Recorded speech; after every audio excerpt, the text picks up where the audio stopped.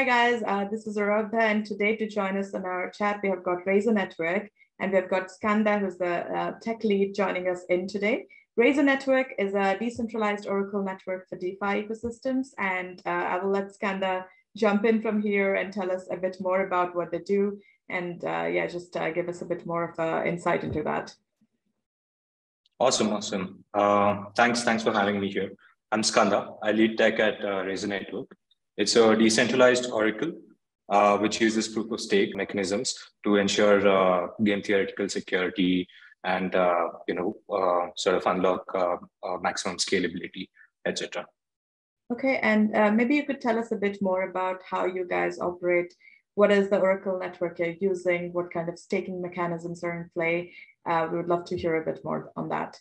Razor Network is a blockchain agnostic Oracle which means that it can uh, reside on uh, multiple blockchains. And we use proof of stake. So validators would ideally stake Razor tokens and they would vote on certain values which are which are present in the real world.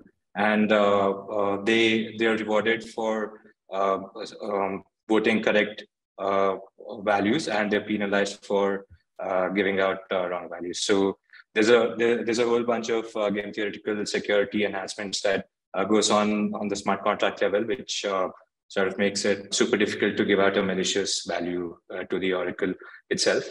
And uh, any any application uh, can plug into Razor Razor Network oracles and consume the data.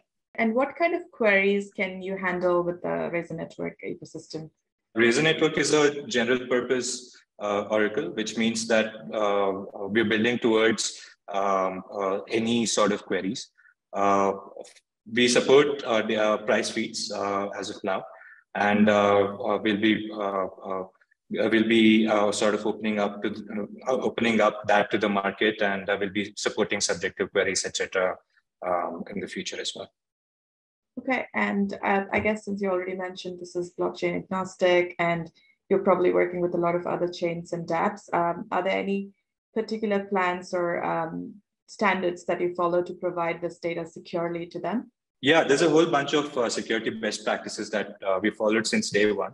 Uh, I, I, guess it all begins with uh, just sort of, you know, uh, the most basic uh, thing that we got on from the beginning is that we had a pretty well thought of GitHub repository structure wherein you know you have uh, all of the uh, CI plugged in. You run all uh, you know you run tests for each pull request. You um, you know have a minimum of two reviewers, etc., etc. So there's probably like a, main branch, and then you sort of branch out of it to sort of build out any features, and then uh, you raise pull requests and sort of the team internally uh, uh, reviews and merges it. We also used a lot of static analysis tools like uh, Slither, basic solidity linting, etc., etc. Uh, from the get-go, uh, just to make sure that we are we are following the best practices. Uh, we've also ensured 100% test coverage since the beginning, uh, and uh, on top of that, we also have a bunch of scenario-based testing just to sort of try to attack the network and see if, like you know, there's any issue uh, based on like certain scenarios that one could uh, try to manipulate uh, Razor Network Oracle. So all of that sort of uh, being packaged to every single pull request uh, sort of resulted in a pretty good system for us to make sure that there's no there's no security uh, problems in in the, in the code base. That's uh, definitely insightful to know more on. And I guess because you uh, you said that your um, users actually use um, stake their tokens in order to validate. Uh, so was there any kind of a debate that you went through while doing a strategic decision on what kind of staking mechanism you're using? Or was proof of uh, stake always a very clear option out there? Well, we've always been passionate about uh, decentralization, especially when it comes to oracles uh, you need to uh, uh, you need to have as like you know you need to sort of maximize for decentralization. Uh, a centralized entity could try to uh, gain control over the network right? So that of course is one of our north stars. And uh, when it comes to proof of stake yeah we did think about it a lot while implementing it. And we ran a bunch of simulations with the implementations that we had. And you know, sort of fine-tuned our way to ensure that Razor Network proof of stake does not uh, end up in centralization issues. Additionally, users can also delegate their tokens to uh, validators. The way we built the staking mechanism should sort of uh, distribute uh, the total stake across many validators in a sort of decentralized way. And Halborn just did the node security audit and the smart contract uh, audit with Razor. Um, I'm just curious from your perspective as a tech lead, uh, how do you approach security and how do you approach a partnership with an auditor? What are the thoughts that come into your head? Two uh, aspects of security for Razor Network would be the smart contracts and the uh, validator. Our validator is written in uh, Golang and our smart contracts are Solidity uh, smart contracts.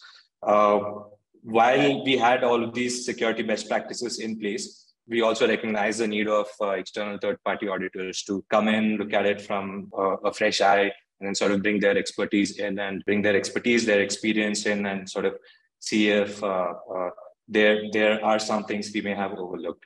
So I feel that it was uh, you know working with auditors such as Halborn also sort of helped us a lot. we identified a lot of places where we could improve, and you know with the feedback that we received, we sort of uh, addressed all of them and uh, pushed out the final version. That's fantastic to hear. Um, so Skanda, what are the next uh, big things on the horizon that we're looking at with Razor Network? Anything you'd like to share with our audience? Yeah, we're we're uh, since the audits uh, uh, are cleared now, and um, you know everything else is in place. We are looking for a mainnet launch on SKALE Network. Should happen in the first half of August.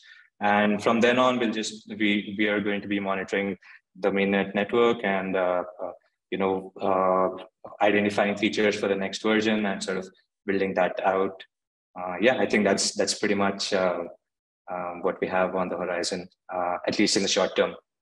All right, awesome. That sounds very very exciting, and we'll definitely keep an eye out for those updates. Um, thank you so much for joining us on this chat today. Uh, and uh, we will stay tuned to everything new with Razor. Thank you.